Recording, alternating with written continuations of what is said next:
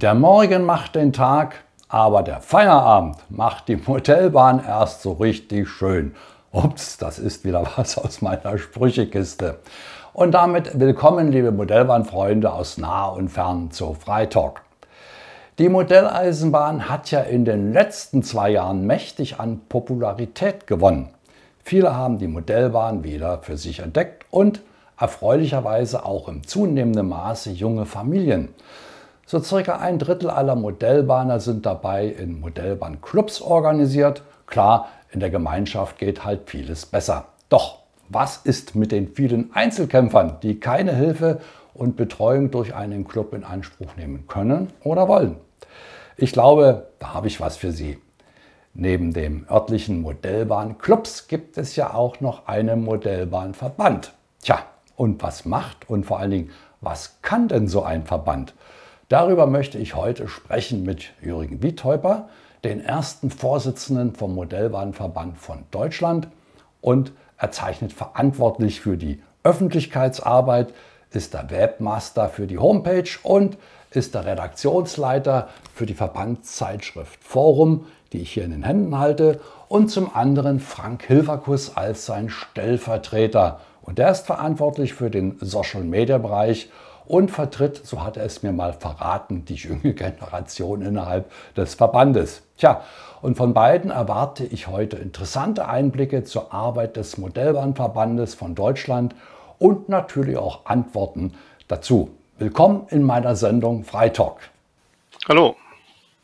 Hallo. Ja, und über was ich heute mit euch beiden sprechen möchte, habe ich ja schon kurz angerissen. Und meine erste Frage, die ich gleich mal so in die Runde werfe, Verbandsarbeit ist jetzt hoffentlich nicht ganz so trocken, wie es klingt, oder? Naja, trockene Verbandsarbeit, sicherlich äh, wie auch in jedem anderen Verein gibt es äh, einiges Formales, was zu regeln ist. Aber es ist an sich schon eine sehr lebhafte Geschichte. Wir verstehen uns ja als Dienstleister für unsere Mitglieder. Das sind Vereine, Vereine jetzt im weitesten Sinne, wie auch immer organisiert, aber auch eben Einzel- und Familien, die bei uns Mitglied sein können, die eben aufgrund ihrer Größe oder manchmal ja Kleinheit eben vieles nicht so regeln können, organisieren können, wie man es so als große Gemeinschaft äh, machen kann äh, mit weit über 5000 Mitgliedern, die wir hier im MOBA haben.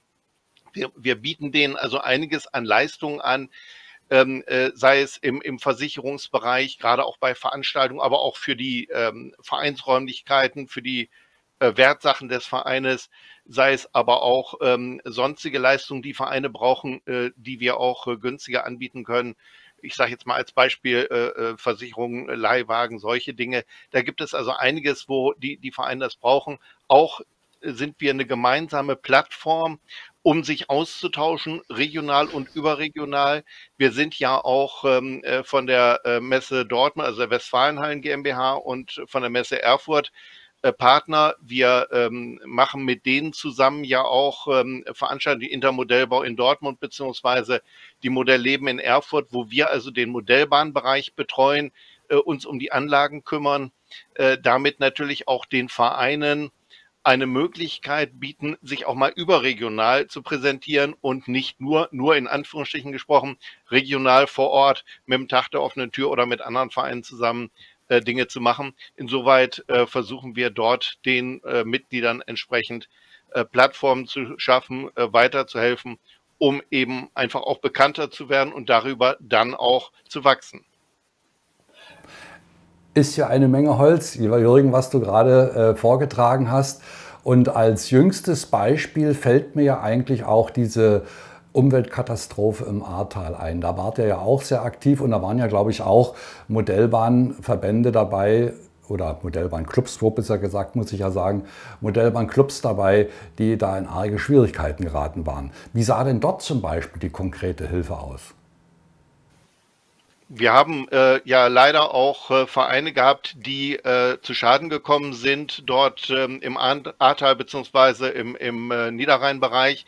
Ähm, neben den äh, vielen persönlichen Schicksalen, die ja natürlich bei der Flutkatastrophe da waren und auch mit den vielen wirtschaftlichen Problemen, die die Menschen dort hatten, muss man natürlich auch sehen, es gibt auch eine, eine Zeit äh, nach der Flut, wo dann auch wieder der Alltag einkommt, wo der Mensch auch Ablenkung braucht.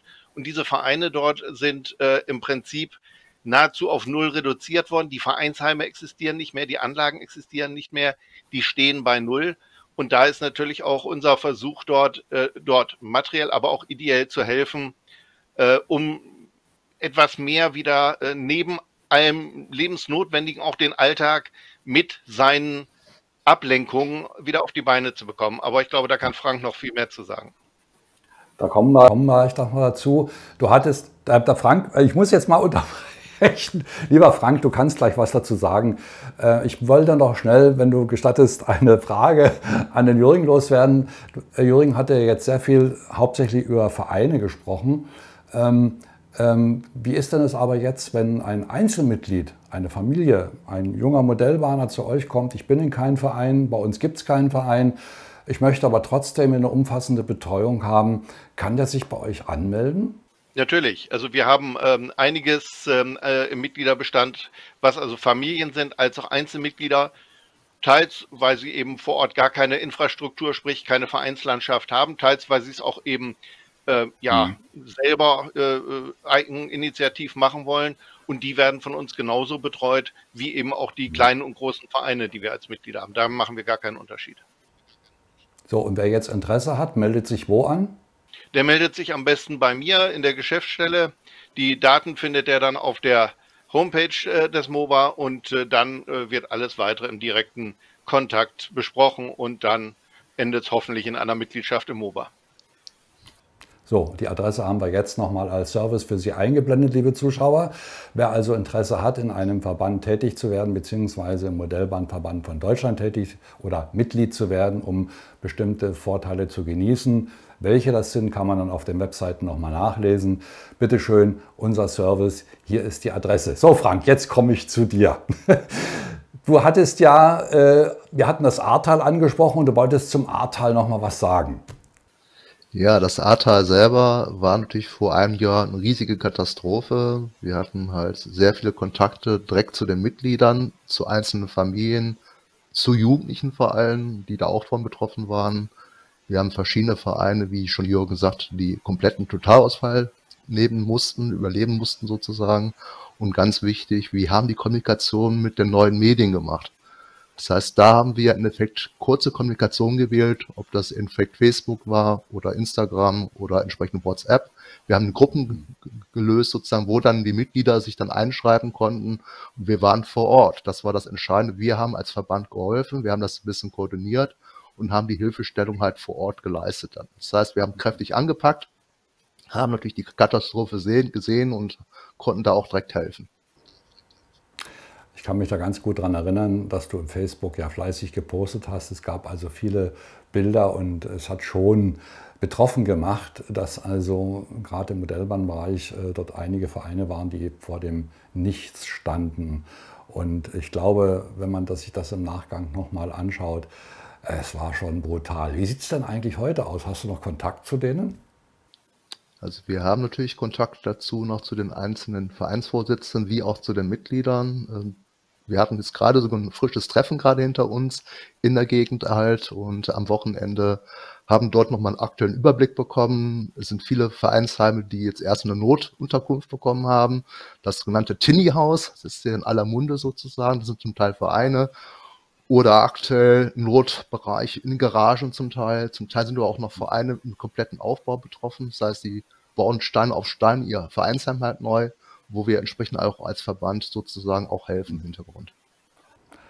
Es ist also noch eine Menge Arbeit zu tun und ich denke, das wird sicherlich noch ein, zwei Jahre dauern, äh, diese Vereine da, äh, die da besonders von dieser äh, Unwetterkatastrophe betroffen waren, eben wieder in ihren alten gewohnten Bahnen arbeiten können.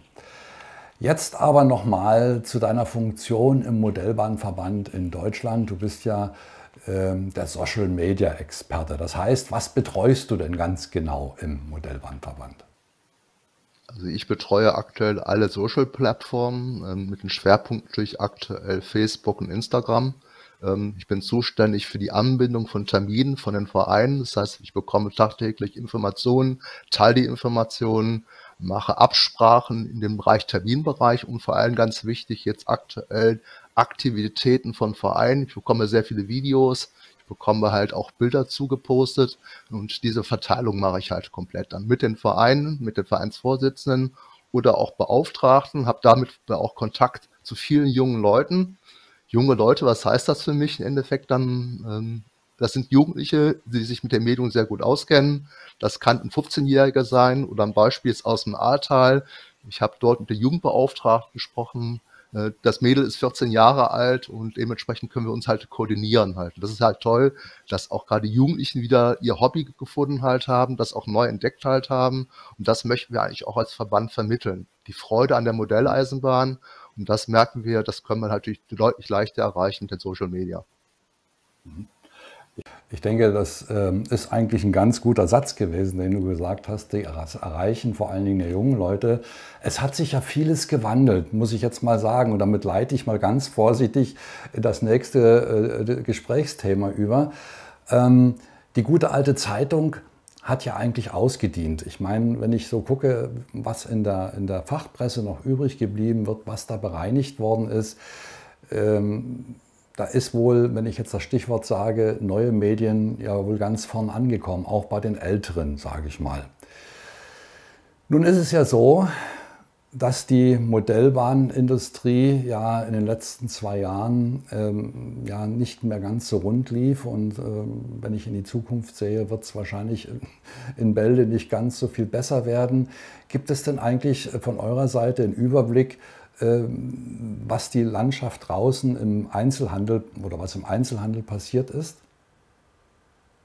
Nun, ähm, ist, ja, Frank, bitte. Fang du an. Nee, sag du, mach du, Jürgen, bitte. Ja, mach du.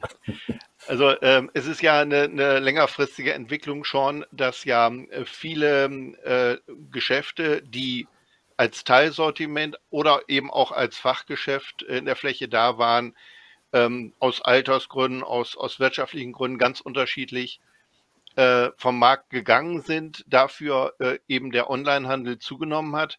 Es ist ähm, sicherlich jetzt eine Mischung da zwischen beidem, äh, was, was auch jeweils äh, absolute Berechtigung hat und auch für den Kunden sehr viel Sinn macht. Ähm, das Wichtige ist eben, dass ähm, äh, der Kontakt zwischen Kunde und, und Hersteller, zwischen Kunde und Händler bestehen bleibt, ähm, dass dann eben äh, auch dort ähm, man die Möglichkeit hat, sich mit den Produkten ähm, äh, auseinanderzusetzen. Da bietet teilweise das Internet mehr als früher ähm, der Einzelhändler, der eben nur ein überschaubares ähm, Warenangebot hatte. Auf der anderen Seite ist natürlich auch immer wichtig, ähm, etwas in die Hand zu nehmen, das haptische, äh, äh eine Probefahrt mit dem Fahrzeug äh, machen zu lassen. Also da sind beide Seiten mit Vor- und Nachteilen und da muss dann äh, jeweils aus der jeweiligen Situation heraus der Kunde das Beste für sich machen. Aber ich glaube, beides nebeneinander ist eine gute äh, Lösung geworden. Das denke ich auch. Wie, Frank, wie siehst du das? Ähm, ich sag mal, ähm, es wird ja immer wieder viel geschimpft über den Onlinehandel. Ähm, der Onlinehandel äh, macht die Modellbahn kaputt, macht die Preise kaputt etc. Es gibt sicherlich hier und da ein paar schwarze Schafe, aber kann man das generell so sagen? Wir selber sehen das aktuell eigentlich nicht. Wir sehen das als Miteinander natürlich in dem Bereich dann halt. Äh, die Informationsfluss ist deutlich schneller geworden. Durch das, was wir in Jahrzehnten lang kannten. Die Schnelllebigkeit, auch gerade von Produktvorstellungen und vor allem die Plattformen haben sich geändert. Und jetzt muss ich mal provokant meine Frage einfach mal stellen, lieber Frank. Ähm, Thema Online-Marketing sozusagen, Online-Verkauf ähm, wird ja ein bisschen von vielen Händlern negativ dargestellt. Und meine provokante Frage ist, ist das Online-Marketing nicht der Tod unser bisheriges ähm, Kaufverhalten, was wir in Deutschland halt haben? Also ich denke, du sprichst jetzt gerade direkt Extrem 24 an. Also wir sind ja vor dreieinhalb Jahren an den Start gegangen und ich weiß, wir waren in dem Bereich erstmal sehr stark angefeindet. Es gab also eine große Gruppe von Händlern, die also der Meinung waren, dass jetzt also vieles sterben wird und dass wir alles kaputt machen. Es hat sich ja nun, wie man so sieht, leider Gottes nicht bewahrheitet, diese Prophezeiung, sondern ich möchte mal an der Stelle jetzt auch in der Öffentlichkeit darüber, was das Online-Marketing und Online-Verkaufen betrifft, eine Lanze brechen. Ähm, der Online-Handel hat sicherlich neben dem stationären Handel, das hat auch Jürgen gerade gesagt, ähm, seine Berechtigung ist ganz einfach, weil auch die Arbeitszeiten, die Arbeitswelten haben sich verändert und oftmals ist es so, dass also Modellbahner nicht zu den Zeiten da sein kann, wo sein Modellbahngeschäft offen hat. Also weicht er auch auf das äh, Internet aus und in den Online-Markt. Und äh, der Online-Markt, den hat es ja eigentlich schon immer gegeben und ähm, oder als er aufkam, gegeben, aber ich glaube nicht, dass er wirklich äh, Kunden weggenommen hat. Ich glaube, da gibt es ein Riesenproblem zwischen Marketing, was du ja vertrittst, und äh, zwischen Handel. Also auch der stationäre Händler hätte sollen müssen hier und da vielleicht auf dieses Pferd mit aufspringen. Das bloß mal nebenbei. Ich möchte aber für Xtrain äh, sagen, ähm, wir wurden ja wie gesagt ähm, sehr angefeindet, weil wir die Preise kaputt machen und so weiter. Was ist Xtrain24? Wir sind zum Beispiel eine Plattform. Das kann man wie bei Amazon oder ähnlichen oder es gibt ja noch mehr Plattformen, wo was verkauft wird. Und auf unserer Plattform vereinen wir sowohl Händler als auch die Industrie die Möglichkeit zu geben, über unsere Plattform, weil sie es vielleicht äh, selber nicht schaffen, einen Online-Auftritt hinzubekommen, ihre Waren anzubieten oder eBay zum Beispiel. Das ist zwar keine Plattform, aber es ist so ähnlich das Prinzip. So, und ich glaube, äh, dass wir da eigentlich die Hand gereicht haben, denen, die also nicht, äh, was den elektronischen Markt betrifft, da so ein bisschen fit war. Also ich denke, dass wir, als, dass wir sehen uns als Bereicherung in, im Bereich des Online-Handels, aber nicht als Gegner. Ja, lieber Frank, wir sehen uns eben als, als Plattform zwischen der Modellbahnindustrie, den Mitgliedern, den Vereinen und den Einzelmitgliedern und natürlich zur Industrie. Das heißt, wir verknüpfen, wir machen das Netzwerk halt möglich zwischen den entsprechenden Personenkreisen und vor allem, wir haben ja auch sehr gute Kontakte zu den Verbänden und dementsprechend haben wir natürlich dann auch gewisse Schwerpunkte bei uns im Verband gesetzt.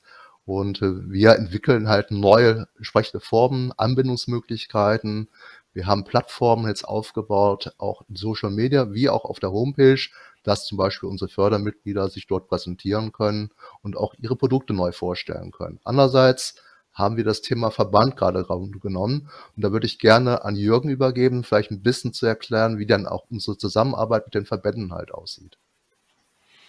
Wir haben ja äh, nicht nur äh, Verbände im Modellbahnbereich, die Kollegen vom BDF, sondern eben auch in den anderen Modellbausparten. Und ähm, man trifft sich dort regelmäßig äh, auf den Messen ähm, bei Veranstaltungen und tauscht sich dann aus. Die, ich sage jetzt mal Aufgaben, ich will nicht das Wort Probleme nutzen, aber die Aufgaben und die, die Veränderungen äh, gelten für die gesamte Vereinslandschaft, damit auch für die Verbandslandschaft, ob ich jetzt die Flieger habe, ob ich die Schiffsmodellbauer habe, die RCK-Fahrer oder auch die Modellbahner. Jetzt habe ich wahrscheinlich noch einen ganzen Schwung vergessen. Ähm, äh, da ist es natürlich ein Hauptthema. Äh, jetzt Stichwort Stillstand ist Rückschritt, also die weitere Entwicklung ähm, äh, mitzubekommen und eben auch ähm, zu unterstützen, dass es das Hobby auch morgen noch gibt, sprich die gesamte Jugend- und Nachwuchsarbeit äh, dann ähm, nach vorne zu bringen. Und ähm, auch da äh, sehen wir uns als Unterstützer der Vereine, um denen also auch da, ich nenne es mal logistisch, äh, äh, zu helfen, äh, um den ähm, äh, Hilfestellung zu geben, wie kann ich jetzt neue Mitglieder gewinnen?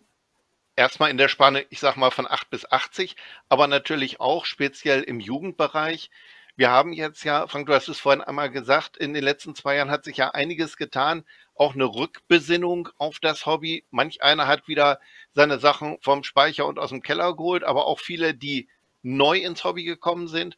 Und jetzt ähm, äh, ist es wichtig, wo eben auch viele Alternativ-Freizeitangebote wieder greifen, äh, diese Personen beim Hobby zu erhalten und denen deutlich zu machen, welche vielfältigen Möglichkeiten das Hobby äh, gibt. Und das gilt natürlich auch für die, die noch nicht beim Hobby sind, weil gut, äh, vielleicht sehe ich es ja dann zu sehr im Tunnelblick, aber ich glaube, es gibt nur ganz wenige Hobbys, die so breit aufgestellt sind von den Fähigkeiten, die ich haben muss, um das Hobby auszuüben. Ich sage jetzt mal Holz, Strom, ähm, äh, Kreativität, Landschaftsbau, Digitaltechnik und, und, und. Da können wir wahrscheinlich noch eine Viertelstunde aufzählen. Äh, und das macht das Hobby ja so spannend und, und eben auch anspruchsvoll. Und da sind wir dann auch wieder bei den Vereinen, weil ähm, ich habe halt nicht ähm, überall denjenigen, der in allen Gewerken absolut fit ist. Aber im Verein finde ich einen, der die Lösung ist für das Problem, was ich gerade habe. Und dieser Austausch in den Vereinen ähm, ist dann eine sehr bereichernde Geschichte und man hilft sich gegenseitig. Vielleicht macht es ja auch gerade die Mischung, ähm, wenn man sich die heutige Zeit betrachtet oder die Entwicklung der Modellwaren generell mal betrachtet. Ähm, dank der Computertechnik und äh, der vielfältigen Apps und Programme, die es gibt, die man also da benutzen kann, von der Planung bis zur Steuerung, ähm, macht es ja auch wieder für die Jugend interessant. Ne? Also wie, dann wurde ja mehr oder weniger dank der neuen Technik die Modellbahn so ein bisschen aus den Hinterzimmern rausgeholt. Vielleicht ist es auch das, äh, was die Zukunft der Modellbahn macht. Ja, mit Sicherheit. Also ich kann äh, eine kleine Story bei uns aus dem örtlichen Verein bringen. Wir hatten vor einigen Jahren ein äh, Mitglied 14, 15 der dann mal irgendwann wohl in der Schule erzählt hat, dass er Modellbahn macht. Ach, das ist ja uncool. Hm. So, und irgendwann hat er es dann mal geschafft, ein paar Schulkollegen zu einer Veranstaltung äh, zu überreden, zu kommen. Und als die dann sahen, äh, dass er dann mit dem Tablet durch den Saal lief und vom Tablet aus die Anlage steuern konnte, er als jüngstes Mitglied damals im Verein, dass man ihn das auch ließ, war plötzlich äh, das Hobby nicht mehr so uncool und ähm, er hatte also ein paar äh, dicke Freunde mehr, die sehr interessiert waren, wie das denn alles so geht. Mhm. Es ist ja auch, ähm, sagen wir mal so, wie du schon sagtest, cool und uncool, um mal diese Worte zu betrachten. Äh, wenn ich natürlich ein RC-Modell habe und ich haue das raus, hier diese Geländeflitzer und stehe mit der Fernbedienung da, habe ich sofort hunderte von Zuschauern. Natürlich, wenn ich meine Modellbahn im Keller oder am Dachboden betreibe, habe ich das nicht. Das ist vielleicht immer so ein bisschen das Hindernis bisher gewesen. Aber wie gesagt, Gott sei Dank hat sich das ja auch wieder ein bisschen gelegt. Man besinnt sich wieder ähm, in den Bereich Modellbahn. Und du hattest ja auch nochmal gesagt, dass mindestens fünf Grundberufe drinstecken. Also, liebe junge Eltern, was Besseres kann gar nicht passieren, als dem Kind eine Modellbahn verpassen. Oder sehe ich das falsch? Gut, also ähm, es, es kann sehr schnell auch im positiven Sinne zu einem Familienhobby werden, äh, auch ähm, äh, generationsübergreifend. Wir haben ja auch die Situation, dass es Jahre gab, wo das Hobby weniger äh, in der Öffentlichkeit stand, äh, weniger in den Kinderzimmern präsent war und ähm, äh, dass dann also auch diese ähm, Beziehung Großeltern, Enkel da natürlich auch sich äh, wieder befruchten kann. Und dann sind plötzlich die Eltern auch mit integriert. Und ähm, drei Generationen äh, betreiben dann gemeinsam das Hobby. Da bietet es das sicherlich auch eine Menge Möglichkeiten und Chancen. Und das macht erstmal richtig Spaß, würde ich sagen, wenn die ganze Familie mitarbeiten kann. Ich möchte aber ganz kurz nochmal auf das äh, vorher angesprochene Thema ähm, stationären Handel äh, zu sprechen kommen. Äh, wo, wo, geht die Reise hin in Zukunft? Was habt ihr da irgendwo Hinweise oder habt ihr irgendwo äh, Gedanken? Wo geht das mal hin? Wenn, war ja nochmal diese Problematik anzusprechen, Onlinehandel, stationären Handel. Gibt es da was? Ja, also grundsätzlich kann man schon sagen, man muss ein bisschen unterscheiden zwischen den Generationen sozusagen. Ähm, ja, die junge Generation ist es gewohnt, online zu kaufen, online sich zu informieren, aber definitiv ist es so, die Chancen, die eben auch gerade der stationäre Handel hat mit dem Online-Bereich, ist dermens groß und dort entsprechend sehen wir auch unsere Zukunft generell. Das heißt, äh, das Thema Ladenmieten, sonstige Sachen halt, die ganze Informationsfluss, bis hin eben zum direkten Kontakt zum Kunden sind natürlich gerade im Social Media Bereich deutlich höher. Das heißt, die Tradition selber, die wir halt kennen, in den Jahrzehnten lang, haben sich grundlegend geändert. Und junge Generationen, Anführungszeichen, Ende, ähm, haben durch ganz andere Möglichkeiten, sich zu informieren und auch andere Ansprüche dann halt. Aber nichtsdestotrotz, es wird immer den stationären Handel halt geben, wo man entsprechend sich informieren kann.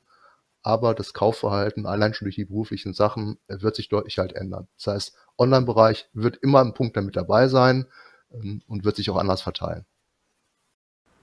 Also, du plädierst bzw. du siehst zumindest in der Richtung eine Gemeinsamkeit zwischen Online- und stationären Handel, dass da also die Zukunft im gemeinsamen Verkaufen und Vertreiben von Modellwarenartikeln liegen wird. Ja, genau, lieber Frank, genau. Das sehen wir halt aktuell auch als Verbandsbereich halt und auch die Mitglieder aktuell, auch in Rücksprachen, die wir mit den Mitgliedern halt haben. Es wird ein Gegenmann, nein, kein, kein gegenseitiges sein, sondern ein gemeinsames dann halt. Und das ist halt ganz wichtig für uns. Nun möchte ich zum Schluss der Sendung, die Sendezeit ist ja immer begrenzt bei mir, mal mit euch beiden einen Blick in die Glaskugel werfen. Ich weiß, das ist nicht ganz seriös, aber wo wird denn mal die Reise hingehen mit der Modellbahn? Ja. Man kann eigentlich nur hoffen, äh, dass sie auf einem guten Weg bleibt. Ähm, was man ja auch ähm, bei etlichen Neuheiten, ähm, die jetzt so äh, in den letzten Jahren gezeigt wurden, dass es wieder einen Weg gibt, in die Kinderzimmer zu kommen. Das Nachwuchsthema dort wirklich äh, beginnen zu lassen, dass auch so, so Umstiegsdinge von, von dem einen äh, Spielgerät, äh, ich sage jetzt mal Noppensteine, hin äh, zur, zur Modellbahn und solche Dinge, dass es da Verknüpfungspunkte gibt, dass also ähm, äh, der Umgang mit der Bahn, die ja früher, ich sag mal, in unserer Kindheit ganz anders omnipräsent war, als es sie heute ist, ähm, dass also äh, da äh, Entwicklungen äh, kommen, dass das Hobby wieder in die Kinderzimmer kommt, dass aber auch die Eisenbahn als als Verkehrsmittel, äh, Klimawandel und und und, welche Stichworte alle hm, da eine Rolle spielen, ähm, auch wieder im Alltag eine größere Rolle äh, äh, bekommt, dass also auch die Kinder und Jugendlichen mehr mit diesem Verkehrsmittel wieder in Berührung kommen. Äh, es gibt ja Kinder und Jugendliche, die sind äh, bald volljährig und noch nie mit der Bahn gefahren. Äh, das war ja nun früher unvorstellbar. Dass da also ja. Entwicklungen sind, die dann auch wieder dem, dem Hobby Vorteile bringen und dass mhm. eben diese äh, Spiele, die, diese äh, Freizeitaktivitäten out of the box. Ich gehe in den Laden, hol mir was, pack's aus, stell's hin und benutze es und meistens nach kurzer Zeit defekt. Äh, dass also äh, äh, mehr das, das Spielen, das, das Kreativsein, das Bauen, das Gestalten ähm, eine Rolle bekommt und nicht mehr das reine konsumieren in der Freizeit. Wenn wir da wieder hinkommen, glaube ich, haben wir für die Modellbahn und auch für andere Bereiche ähm, äh, eine, eine Menge gewonnen. Das glaube ich war schon das richtige Schlusswort gerade, lieber Jürgen. Du hast es ja eigentlich ein bisschen auf den Punkt gebracht. Das Nicht-Konsumieren, sondern das Spielen, Basteln und Bauen, das, was das Hobby eigentlich ausmacht und das, was ich auch vorhin gesagt habe, liebe junge Eltern, kaufen Sie Ihrem Kind eine Modellbahn und fördern Sie die handwerkliche Geschicklichkeit bis hin zum Computer. Also ich denke mal, dass wir das so stehen lassen können, oder?